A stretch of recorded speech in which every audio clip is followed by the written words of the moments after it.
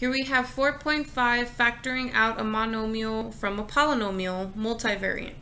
So between 28 and 24, I'm going to do the smaller number 1, 2, 3, 4, 6, 8, 9, 10, 11, 12, and 24. Those are all the factors of 24.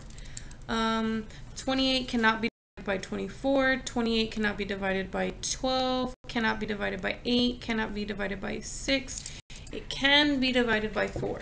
So 4 is going to be my GCF for the number part. Here I only have one W, so I could take a W out, just one. I have two X's in common, so I could take out a 2, and I do not have any Y's in common, so no Y's in your GCF. Now if I take that out, 28 divided by 4 is 7.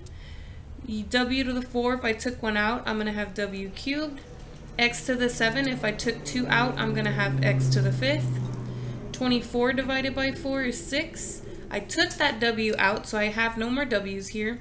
I took the x squared out, so I have no more x squared, no more x's here, but I still have that y cubed. So eventually you start to get faster and faster at um, factoring out GCFs so that you don't have to do the division on each term um, to get these values inside the parentheses.